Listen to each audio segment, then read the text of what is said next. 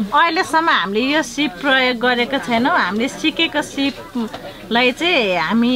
गर्न सक्छौँ र घर